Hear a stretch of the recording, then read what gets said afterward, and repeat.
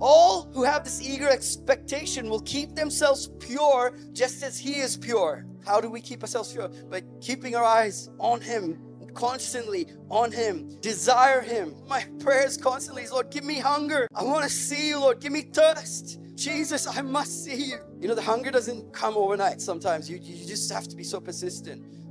We must desire purity, and that comes only from intimacy with Him by being with Him.